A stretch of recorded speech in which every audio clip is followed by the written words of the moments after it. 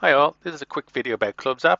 You can download the ClubZap mobile phone application from Google App Store or the Apple App Store and search for St. Finian's GAA Swords. I have it already installed on my phone here so I'll just open it up. And you can see first that you can see the news, the club news that's going on. We have a national draw, membership, uh, Lidl series support initiative. Uh, but on the bottom there's a toolbar with games, notification, news, chat and my club. And if you click on chat, and then if you hit the round circle button, the chat circle button, there's a list of groups you can join. Um, all the teams have a chat. So you request to join, the request goes to the manager of the team, and in an hour or two or a day or two, the manager will, will accept your request and you can join the chat group. So I have a test group here and there's a test event here. So every training and every match you're going to have an event. In this case, it's Camogie training, gives you the date, start time, location, and you can specify if you're going to attend or not. When I joined this group, I said I was a mentor and my daughter Abigail was a player. So both of us are listed here for the event.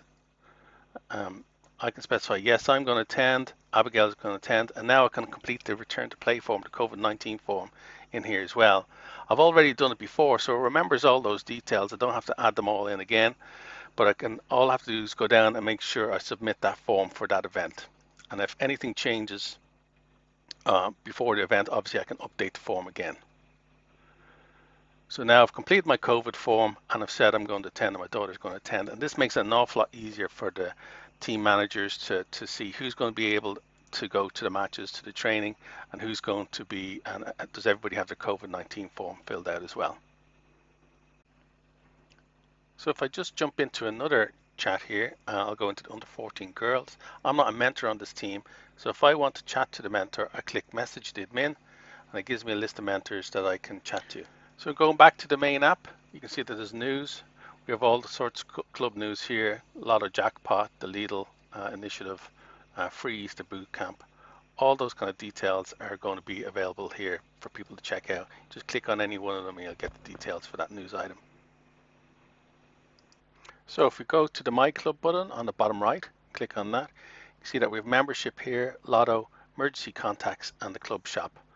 Um, this is where you can click in and find your membership. So if you click on the membership at the top, you see the different membership uh, packages available and if you click on further to that you'll be able to buy securely online uh, with ClubZap uh, your membership. The same with the Lotto and the same with the Club shop. You can buy national draw tickets, Lotto tickets. It brings the ClubZap and it's all secure and online. You can buy these uh, products.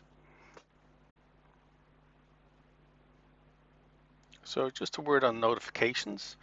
On the top left, those three bars, if you click on that, you'll see your club details. But if you click on notifications, you can see that you, there, you, there's very fine-grained control of what you want to be notified about. So you may not want to be notified about every team in the club. You can unselect those and just leave yourself with the teams that you want to be notified about. So I want to, know about the 2009 girls, under 12 girls, um, and the under 14 girls as well. And this is the games tab. And this is the bottom left. This is where all the games the club, plays are going to be listed. So this is for everyone. You're going to see all the teams and where the matches are, uh, who's who they're playing on here, and you'll also see the results uh, will be posted up here as well. And that's it. Thanks for watching.